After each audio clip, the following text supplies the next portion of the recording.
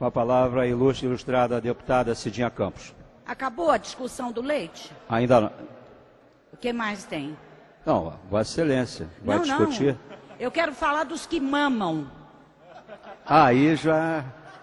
Aí já não está na ordem do dia aqui. O que, senhora? Não entendi.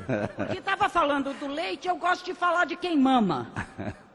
Não das crianças que têm direito, mas dos marmanjos safados, sem vergonhas, cafajestes, que infestam a política nacional e infestam essa casa. Eu subi pela escada feito uma doida para falar no primeiro horário, depois que eu vi o depoimento do deputado Nader se lançando candidato ao Tribunal de Contas do Estado. O que é isso? Eu vejo aqui nessa casa o cinismo dos ladrões. Vi ontem dessa tribuna um deputado falar em moral, bons costumes, quando o pai dele está preso, o tio está preso e ele é a laranja dos dois. Roubando o quê? Vacina e remédio de criança. Como é que é isso? É um feudo Tribunal de Contas? Ou é um pasto? O pai Denunciado na CPI, enquadrado por corrupção. O filho está no mesmo inquérito da polícia que aberto pela Polícia Federal na Operação Pazárgada, enquadrado em. Agora não estou falando do pai, que já saiu na compulsória. Estou falando do filho que quer entrar no rabo do pai. Corrupção. Formação de quadrilha, artigo 288. Corrupção passiva, artigo 317. Advocacia administrativa, artigo 321 do Código Penal. Ele não sabe que para ser conselheiro do Tribunal de Contas tem que ter notório saber e reputação ilibada. Isso é uma reputação ilibada?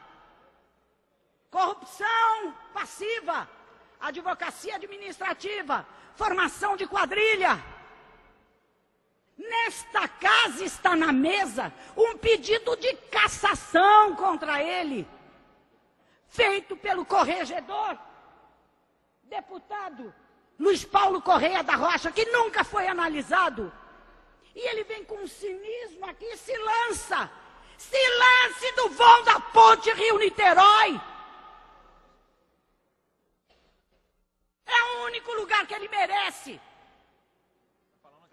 na cara da gente, como se ninguém soubesse, ninguém ouvisse, não houvesse uma CPI nessa casa, não houvesse uma denúncia de primeira página da revista Isto É e da, da revista Veja. Trouxemos a mulher dele para depor, ele depois.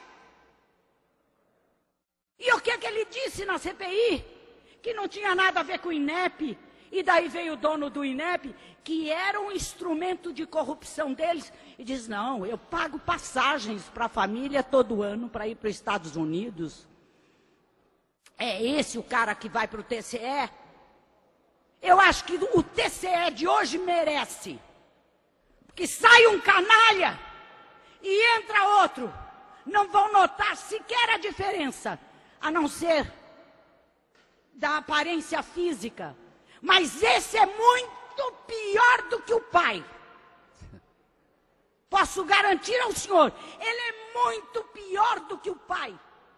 A corrupção nesse país está no DNA.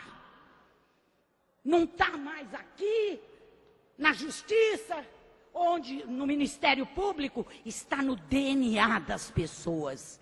Elas riem, elas brincam. Eu vejo todo mundo gargalhando neste plenário. Quanto mais ladrão, mais querido. Mais simpático. Eu vou dizer para o senhor: o outro candidato é tão bandido quanto ele, mas ainda não se lançou. Já está pedindo voto aqui.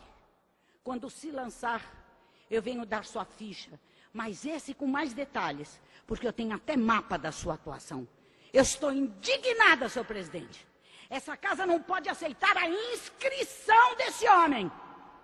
Porque o requisito fundamental é reputação ilibada. O outro candidato fraudou o Bolsa, Bolsa Família. E foi apoiado. Todo mundo ficou quieto aqui. Ninguém se dispôs a levantar a podridão do seu comportamento, roubando escola de criança. E agora é candidato, e já está cabalando voto, e já chega o outro que é envolvido com ele. Porque existe uma quadrilha aqui dentro dessa casa. Uma quadrilha! Funcionários de um gabinete passam para o outro sem nunca, como requisitados, sem nunca terem servido em, servido em qualquer município. No gabinete dele tinha 49 do município de Mendes, 20 do município de Varriçai. E são esses que vão fiscalizar as contas do Estado. É na mão dessa gente que fica a conta do governo do Estado, de 91 municípios, do PAC, Vamos parar com essa palhaçada.